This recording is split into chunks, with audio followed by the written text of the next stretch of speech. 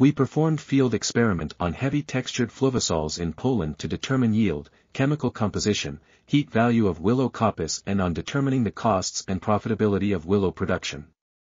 Wood from Salix viminalis 082 formed cut every three years showed the lowest water content, 46.05%, high heat value, 19.56 mj/kg dry matter, and the highest content of cellulose and lignin in wood.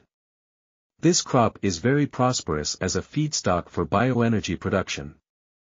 The highest yield from the willow plantation was obtained in case of harvest every three years at 578.76 euro ha slash year.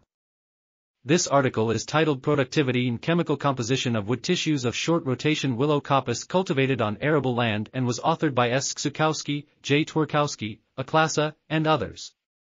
We are www.article.tv. Check out the video description for links to this article.